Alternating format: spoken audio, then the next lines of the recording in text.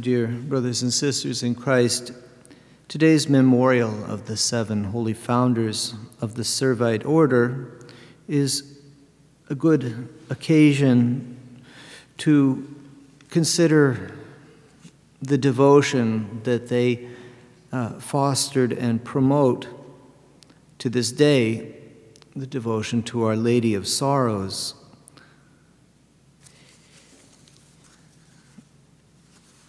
The, the great motive, one of the great motives to have a devotion to Our Lady of Sorrows is that in it we find the motivation to change our lives.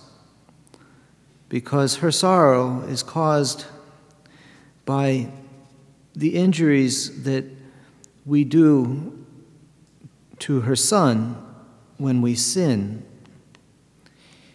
We heard in the first reading an admonition from St. James and advice that also can help us in conversion and overcoming our sins. First of all, he encourages us to perseverance and to not consider our trials and tribulations, particularly in the struggle to be converted and to break away completely from sin. He says, Consider it all joy, my brothers and sisters, when you encounter various trials. For you know that the testing of your faith produces perseverance. And then he says, Let perseverance be perfect, so that you may be perfect and complete, lacking in nothing. But if any of you lacks wisdom, he should ask God, who gives to all generously and ungrudgingly, and he will give it. But he should ask in faith, not doubting. So we have, as we examine our consciences when we make confession or when we meditate, to strive to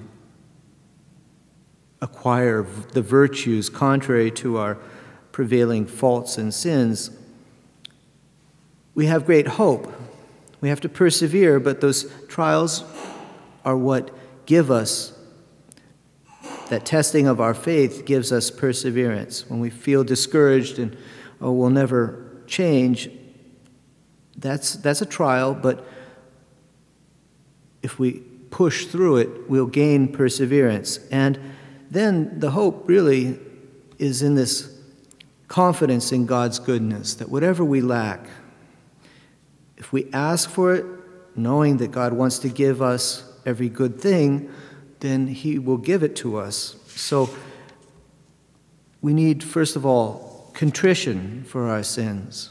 We need to be generous in denying ourselves. We need courage to keep going when we fall, to get back up, to seek God's mercy, and to continue to strive. And above all, we need charity, that, uh, that love of God. And that's the perfect contrition. When we fall, that we're motivated to change, we're sorry because we've hurt God, not because we're simply afraid of the punishment. And so, Our Lady of Sorrows then can assist us in this because when we think upon her and all of what she suffered for our sake, then we have a motive, a compassion that should soften any heart to see her suffering.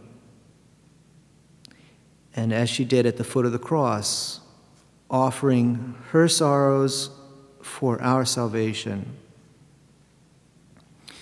Just read to you a couple of brief excerpts from, the, from a manual published by the Servites regarding this devotion.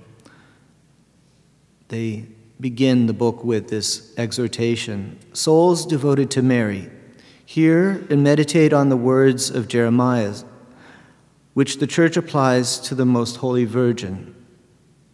Weeping, she hath wept in the night, and her tears are on her cheeks. There is none to comfort her among all them that were dear to her. And again, they have heard that I sigh, and there is none to comfort me. From the book of Lamentations. Alas, it is but too true. Few among the faithful, even among those who profess devotion to Mary, think of her sorrows. Few think how they may console her by their compassion. Let it not be so with you. Forget not the groanings of your heavenly mother, but honor her all the days of your life, being mindful what and how great perils she has suffered for you in her heart when she was standing by the foot of the cross.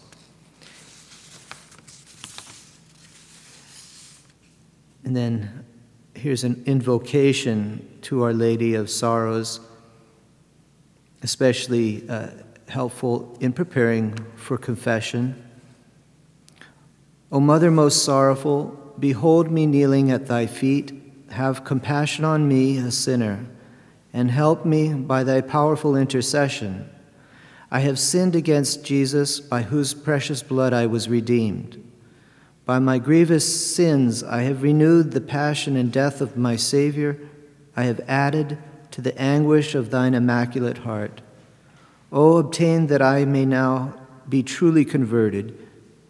Intercede for me that I may have a contrite and humble heart, that I may make my confession in good dispositions and be restored to the favor and love of Christ.